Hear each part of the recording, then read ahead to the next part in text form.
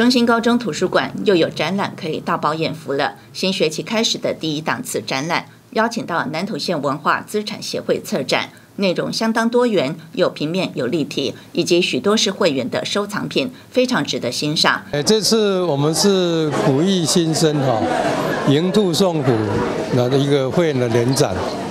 那我们的会员这次提供的东西蛮多样化的，多点的文路有，呃，我们的会员的创作品。然后也有收藏品，包括有平面的，有立体的。那中心高中这个艺文中心这个场地是很棒的哈。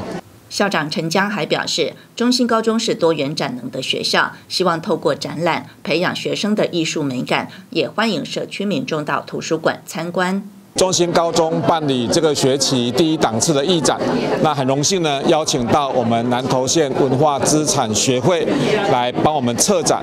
这次的展览里面呢，有多元的艺术家跟多元的媒材啊，非常精彩。我们学校是一个多元展能的学校，让我们的艺术美感可以融入在学生日常的学习生活当中。也希望同学可以就近来养成看展的习惯。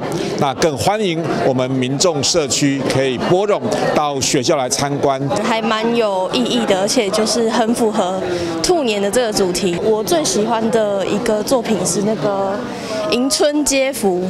县议员林义如肯定学校开放社区民众参观展览，除了将艺术带入校园，培养学生美感外，也结合社区，非常值得肯定，也很有意义。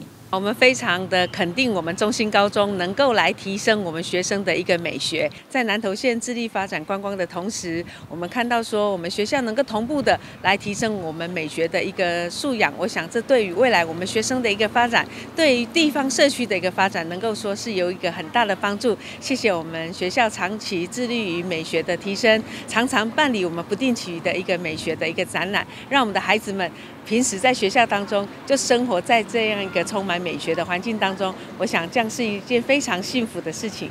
中心高中办理兔年特展作品，展出到本月二十七日止。县议员林义竹肯定中心高中透过办理主题展览，培养学生美感教育，也欢迎社区民众到图书馆参观，提升美感于日常生活中。